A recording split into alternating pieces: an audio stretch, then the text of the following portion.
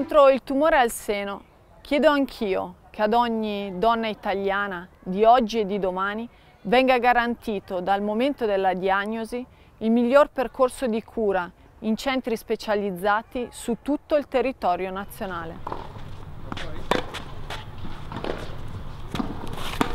Contro il tumore al seno e per tutte le donne che ne soffrono chiedo qualità, qualità di cura, qualità di vita e qualità di assistenza.